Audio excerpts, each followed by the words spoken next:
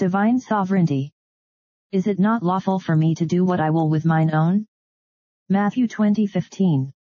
The householder says, Is it not lawful for me to do what I will with mine own? And even so does the God of heaven and earth ask this question of you this morning, Is it not lawful for me to do what I will with mine own?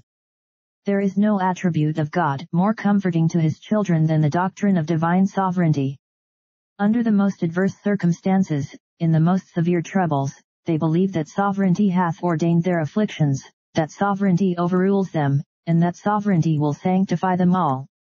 There is nothing for which the children of God ought more earnestly to contend than the dominion of their Master over all creation, the kingship of God over all the works of his own hands, the throne of God, and his right to sit upon that throne. On the other hand, there is no doctrine more hated by world yellings, no truth of which they have made such a football, as the great, stupendous, but yet most certain doctrine of the sovereignty of the infinite Jehovah. Men will allow God to be everywhere except on his throne.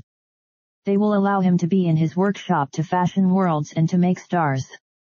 They will allow him to be in his almonry to dispense his alms and bestow his bounties they will allow him to sustain the earth and bear up the pillars thereof, or light the lamps of heaven, or rule the waves of the ever-moving ocean, but when God ascends his throne, his creatures then gnash their teeth, and when we proclaim an enthroned God, and his right to do as he wills with his own, to dispose of his creatures as he thinks well, without consulting them in the matter, then it is that we are hissed and execrated, and then it is that men turn a deaf ear to us, for God on his throne is not the God they love, they love him anywhere better than they do when he sits with his scepter in his hand and his crown upon his head.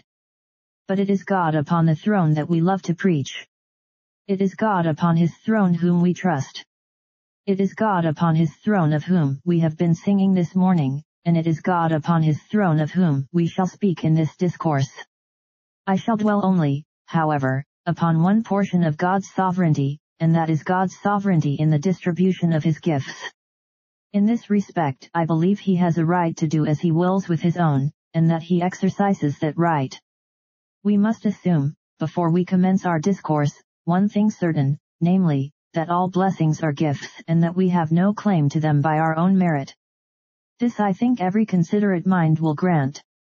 And this being admitted, we shall endeavor to show that he has a right seeing they are his own to do what he wills with them to withhold them wholly if he pleaseth to distribute them all if he chooseth to give to some and not to others to give to none or to give to all, just as seemeth good in his sight. Is it not lawful for me to do what I will with mine own? We shall divide God's gifts into five classes. First, we shall have gifts temporal, second, gifts saving, third, gifts honorable, Fourth, gifts useful, and fifth, gifts comfortable. Of all these we shall say, Is it not lawful for me to do what I will with mine own? In the first place then, we notice gifts temporal.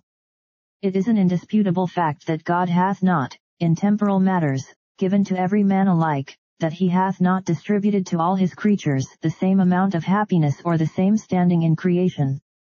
There is a difference. Mark what a difference there is in men personally, for we shall consider men chiefly, one is born like Saul a head and shoulders taller than the rest, another shall live all his life as Zacchaeus a man short of stature. One has a muscular frame and a share of beauty another is weak, and far from having anything styled comeliness.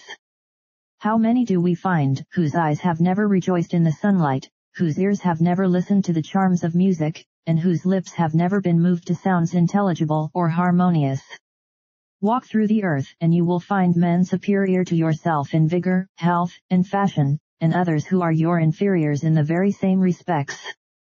Some here are preferred far above their fellows in their outward appearance, and some sink low in the scale and have nothing about them that can make them glory in the flesh.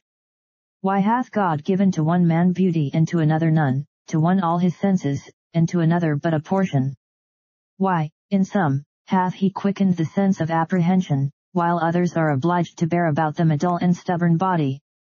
We reply, let men say what they will, that no answer can be given except this, even so, Father, for so it seemed good in thy sight. The old Pharisee asked, Did this man sin or his parents, that he was born blind? We know that there was neither sin in parents nor child, that he was born blind, or that others have suffered similar distresses, but that God has done as it has pleased him in the distribution of his earthly benefits, and thus hath said to the world, Is it not lawful for me to do what I will with mine own?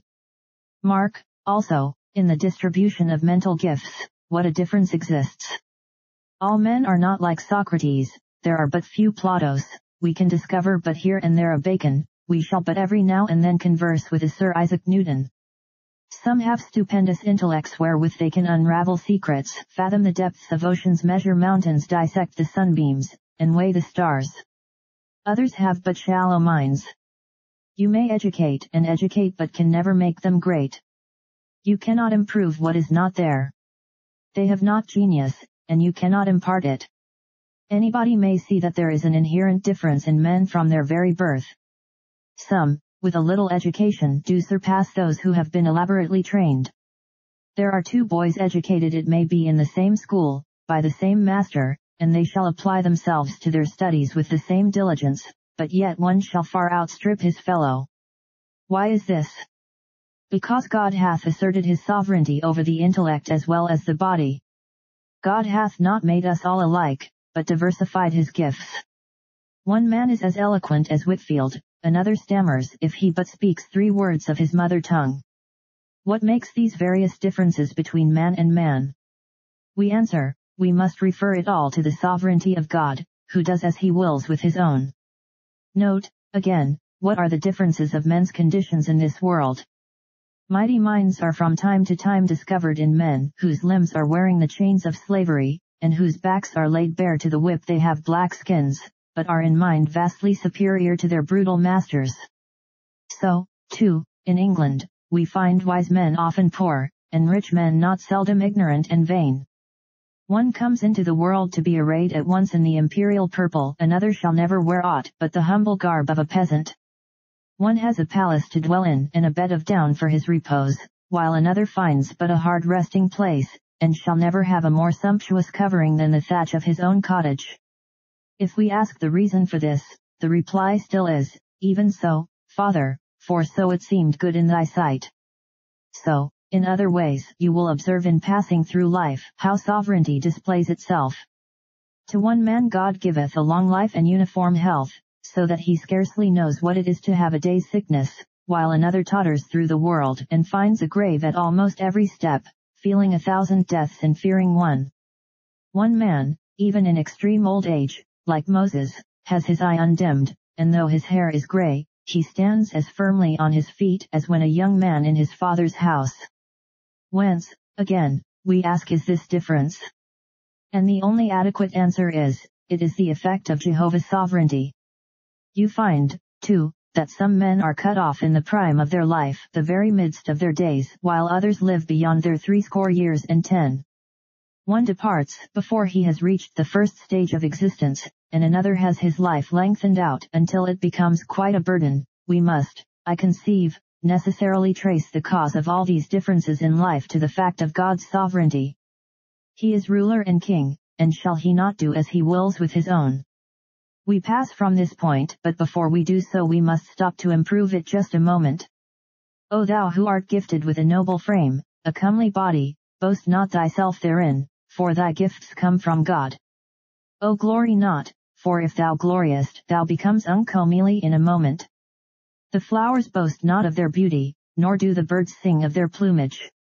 Be ye not vain ye daughters of beauty, be not exalted ye sons of comeliness, and O ye men of might and intellect, remember, that all you have is bestowed by a sovereign Lord he did create, he can destroy, there are not many steps between the mightiest intellect and the helpless idiot deep thought verges on insanity. Thy brain may at any moment, be smitten, and thou be doomed henceforth to live a madman. Boast not thyself of all that thou knowest, for even the little knowledge thou hast has been given thee. Therefore, I say, exalt not thyself above measure, but use for God what God has given thee, for it is a royal gift, and thou shouldst not lay it aside. But if the sovereign Lord has given thee one talent, and no more, lay it not up in a napkin, but use it well, and then it may be that he will give thee more. Bless God that thou hast more than others, and thank him also that he has given thee less than others, for thou hast less to carry on thy shoulders, and the lighter thy burden the less cause wilt thou have to groan as thou travellest on towards the better land. Bless God then if thou possesseth less than thy fellows, and see his goodness in withholding as well as in giving. So far most men probably have gone with us, but when we come to the second point, gift saving, there will a large number who will go from us, because they cannot receive our doctrine. When we apply this truth regarding the divine sovereignty to man's salvation, then we find men standing up to defend their poor fellow creatures, whom they conceive to be injured by God's predestination. But I never heard of men standing up for the devil, and yet think if any of God's creatures have a right to complain of his dealings it is the fallen angels. For their sin they were hurled from heaven at once, and we read not that any message of mercy was ever sent to them. Once cast out, their doom was sealed, while men were respite, redemption sent into their world, and a large number of them chosen to eternal life. Why not quarrel with sovereignty in the one case as well as the other? We say that God has elected a people out of the human race, and his right to do this is denied. But I ask, why not equally dispute the fact that God has chosen men and not fallen angels, or his justice in such a choice? If salvation be a matter of right, surely the angels had as much claim to mercy as men. Were they not seated in more than equal dignity? Did they sin more? We think not. Adam's sin was so wilful and complete, that we cannot suppose a greater sin than that which he committed. Would not the angels who were thrust out of heaven have been of greater service to their Maker if restored, than we can ever be? Had we been the judges in this matter, we might have given deliverance to angels but not to men. Admire then, divine sovereignty and love, that whereas the angels were broken into shivers, God hath raised an elect number of the race of men to set them among princes, through the merits of Jesus Christ our Lord.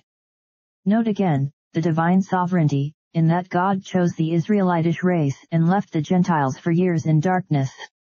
Why was Israel instructed and saved, while Syria was left to perish in idolatry? Was the one race purer in its origin and better in its character than the other? Did not the Israelites take unto themselves false gods a thousand times, and provoke the true God to anger and loathing? Why then, should they be favored above their fellows? Why did the Sun of Heaven shine upon them while all around the nations were left in darkness, and were sinking into hell by myriads? Why? The only answer that can be given is this, that God is a sovereign, and will have mercy upon whom he will have mercy, and whom he will he hardeneth. So now, also, why is it that God hath sent his word to us while a multitude of people are still without his word?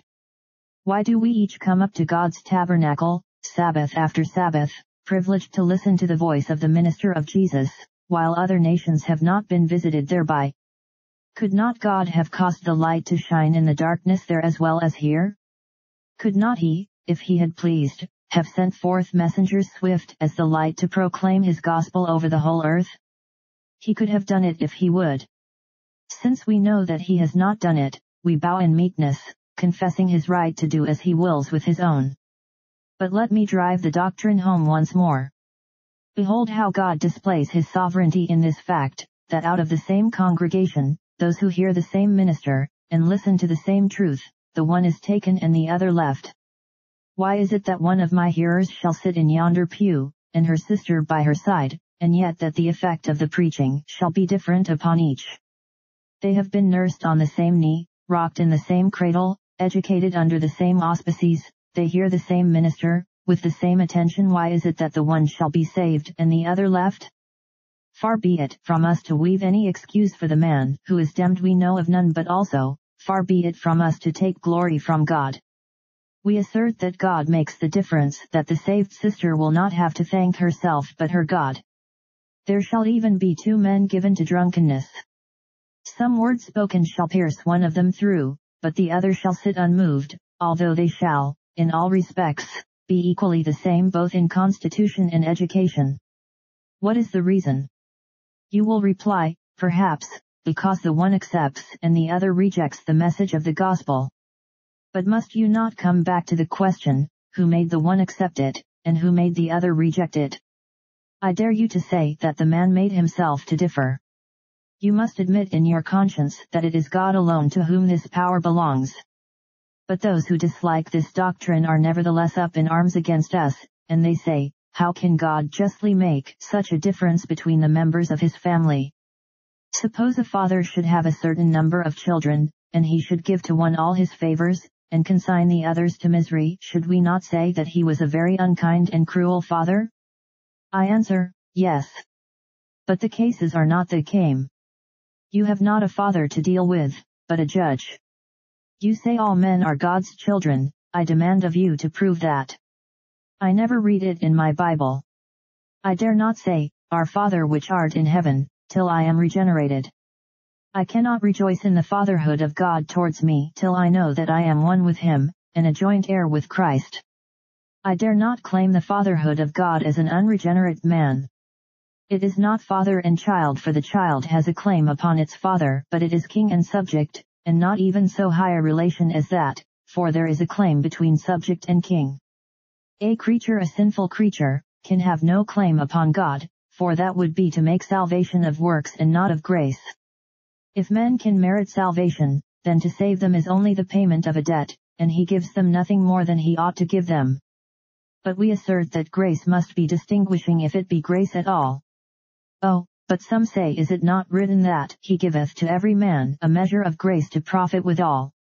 If you like to repeat that wonderful quotation so often hurled at my head, you are very welcome, for it is no quotation from Scripture, unless it be an Arminian edition. The only passage at all like it refers to the spiritual gifts of the saints and the saints only. But I say, granted your supposition, that a measure of grace is given to every man to profit withal, yet he has given to some a measure of particular grace to make that profit. For what do you mean by grace, which I put out, to profit. I can understand a man's improvement in the use of grease, but grace improved and made use of by the power of man I cannot comprehend. Grace is not a thing which I use, grace is something which uses me. But people talk of grace sometimes as if it was something they could use, and not as influence having power over them. Grace is something not which I improve, but which improves me, employs me, works on me, and let people talk as they will about universal grace, it is all nonsense, there is no such thing, nor can there be. They may talk correctly of universal blessings, because we see that the natural gifts of God are scattered everywhere, more or less, and men may receive or reject them. It is not so, however, with grace. Men cannot take the grace of God and employ it in turning themselves from darkness to light. The light does not come to the darkness and say, use me, but the light comes and drives the darkness away.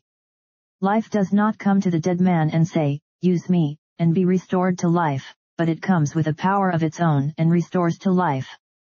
The spiritual influence does not come to the dry bones and say, use this power and clothe yourselves with flesh, but it comes and clothes them with flesh, and the work is done. Grace is a thing which comes and exercises an influence on us. The sovereign will of God alone creates us heirs of grace born in the image of his Son. A new created race. And we say to all of you who gnash your teeth at this doctrine, whether you know it or not, you have a vast deal of enmity towards God in your hearts, for until you can be brought to know this doctrine, there is something which you have not yet discovered, which makes you opposed to the idea of God absolute, God unbounded, God unfettered, God unchanging, and God having a free will, which you are so fond of proving that the creature possesses. I am persuaded that the sovereignty of God must be held by us if we would be in a healthy state of mind. Salvation is of the Lord alone. Then give all the glory to his holy name, to whom all glory belongs. We now come, in the third place, to notice the differences which God often makes in his church in honorable gifts. There is a difference made between God's own children when they are his children, Note what I mean one hath the honorable gift of knowledge, another knows but little. I meet, every now and then, with a dear Christian brother with whom I could talk for a month, and learn something from him every day. He has had deep experience, he has seen into the deep things of God, his whole life has been a perpetual study wherever he has been. He seems to have gathered thoughts, not from books merely, but from men, from God, from his own heart. He knows all the intricacies and windings of Christian experience. He understands the height, the depths, the lengths, and the breadths of the love of Christ, which passeth knowledge. He has gained a grand idea, an intimate knowledge of the system of grace, and can vindicate the dealings of the Lord with his people. Then you meet with another who has passed through many troubles, but he has no deep acquaintance with Christian experience. He never learned a single secret by all his troubles. He just floundered out of one trouble into another, but never stopped to pick up any of the jewels that lay in the mire, never tried to discover the precious jewels that lay in his afflictions.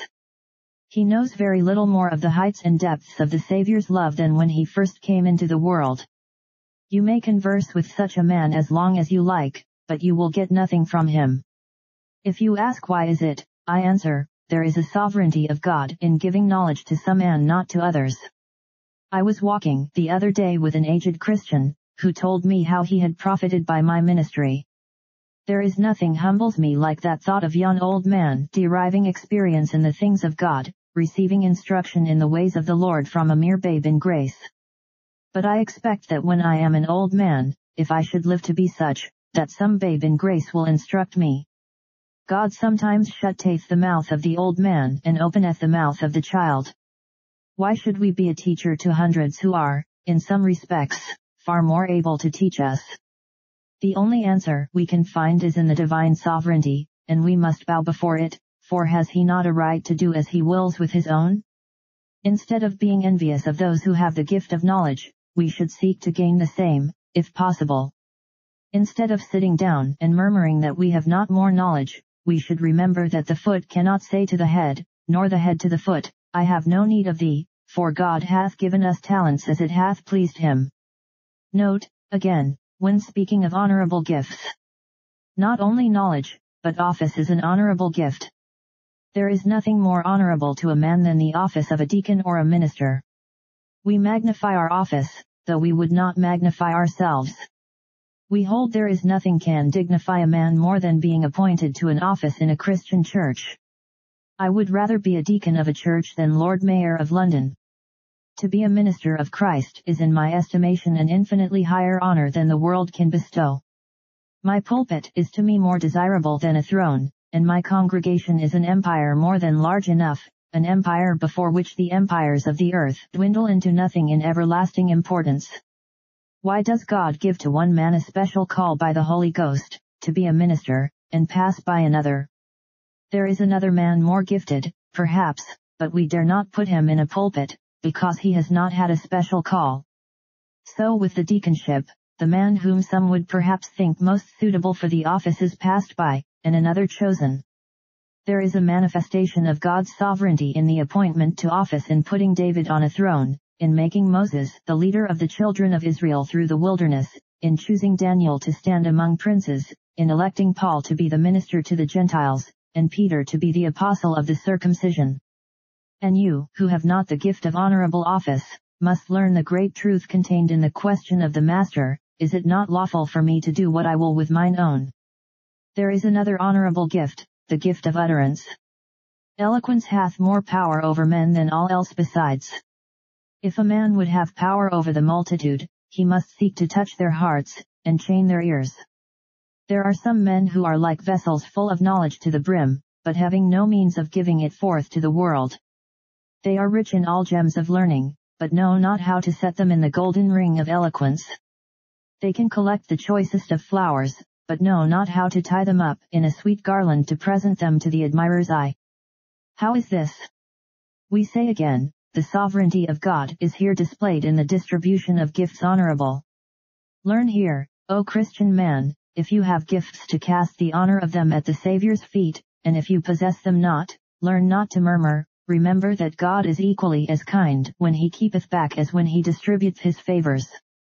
If any among you be exalted, let him not be puffed up, if any be lowly, let him not be despised, for God giveth to every vessel his measure of grace.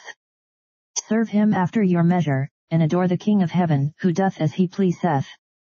We notice in the fourth place, the gift of usefulness. I have often done wrong in finding fault with brother ministers for not being useful, I have said you might have been as useful as I have been had you been in earnest. But surely there are others even more earnest, and more efficient others laboring as constantly, but with far less effect. And, therefore, let me retract my accusation, and in lieu thereof assert that the gift of usefulness is the result of God's sovereignty. It is not in man to be useful, but in God to make him useful. We may labor ourselves with all our might, but God alone can make us useful. We can put every stitch of canvas on when the wind blows, but we cannot make the wind blow. The sovereignty of God is seen also in the diversity of ministerial gifts.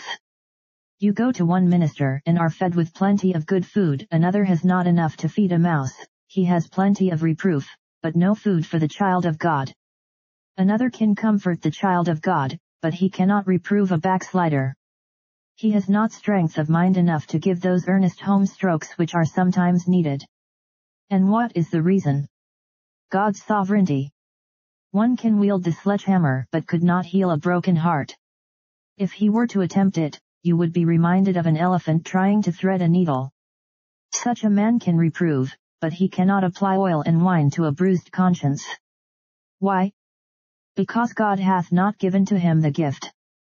There is another one who always preaches experimental divinity, and very rarely touches upon doctrine. Another is all doctrine, and cannot preach much about Jesus Christ and Him crucified. Why? God hath not given him the gift of doctrine. Another always preaches Jesus bless Jesus, men of the Hawker school and many say, oh. They do not give us experience enough, they do not go into the deep experience of the corruption which vexes the children of God. But we do not blame them for this.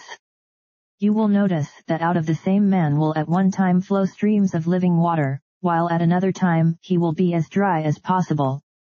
On one Sabbath you go away refreshed by the preaching, and the next you get no good. There is divine sovereignty in all this, and we must learn to recognize and admire it. I was preaching on one occasion last week to a large crowd of people, and in one part of the sermon the people were very much affected, I felt that the power of God was there. One poor creature absolutely shrieked out because of the wrath of God against sin, but at another time the same words might have been uttered and there might have been the same desire in the minister's heart, and yet no effect produced.